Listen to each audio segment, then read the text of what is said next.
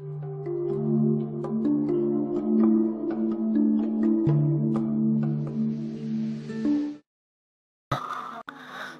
আলাইকুম। বন্ধুরা, আশা করি আপনারা ভালো আছেন। তো আমার চ্যানেলে আপনাদের স্বাগতম।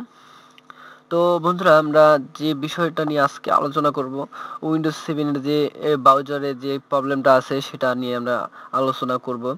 Windows seven O seven do you want to display only that only the web page content that was delivered securely যে প্রবলেমটা আমাদের হয় প্রবলেমটা ফেস করতে হয়।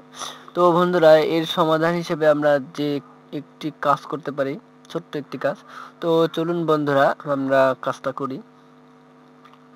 তো আমরা ব্রাউজারটা ওপেন করলাম। ওপেন করার পরে বন্ধুরা আমাদের যে কাজটা করতে হয়, এখানে টুলস নামের একটি অপশন দেখতে পাচ্ছেন বন্ধুরা। তো এখানে ক্লিক করেন। ক্লিক করার পরে একদমই নিচের দিকে যান।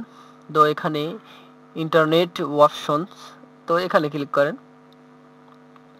ক্লিক করার পর বন্ধুরা আমাদের সামনে নতুন একটি উইন্ডো আসলো ওপেন হলো। তো এখান থেকে সিকিউরিটি নামের একটি এখানে একটা আরেকটা অপশন দেখতে পাচ্ছেন। তো সিকিউরিটিতে ক্লিক করেন। ক্লিক করার পর বন্ধুরা যে কাজটা আছে, সেটা হচ্ছে আর একটু নিচের দিকে আসেন।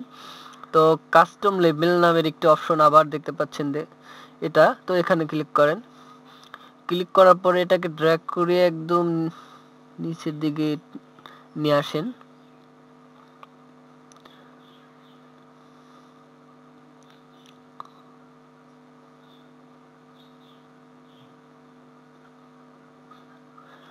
তো বন্ধুরা এখানে একটি অপশন আপনারা দেখতে পাচ্ছেন কিছু কাজ।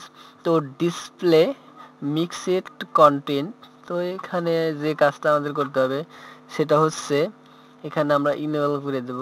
তো ইনেবল করে দিলাম। তারপর আমাদের কাজটা হবে ওকে করে দেন। তারপর এস তো তারপর যে কাজটা হবে অ্যাপ্লাই দেন ওকেতে ক্লিক করেন। তো বন্ধুরা, মোটামুটি এটাই ছিল প্রবলেম আজকে। তো আশা করি আপনাদের আর কোনো রকম সমস্যা হবে না। তো আমার এই টিউটোরিয়ালটা যদি আপনাদের ভালো লেগে থাকে, অবশ্যই লাইক করবেন এবং কমেন্টের মাধ্যমে জানাবেন যে ভিডিওটা কেমন হয়েছে। তো সকলে ভালো থাকবেন, সুস্থ থাকবেন। আর যারা এখনও আমার চ্যানেলটা সাবস্ক্রাইব করেননি, অবশ্যই সাবস্ক্রাইব করে রাখবেন নতুন নতুন ভিডিও পাওয়ার জন্য। সবাই ভালো থাকবেন, সুস্থ থাকবেন, এই কামনায় বিদায় নিচ্ছি। আল্লাহ হাফেজ।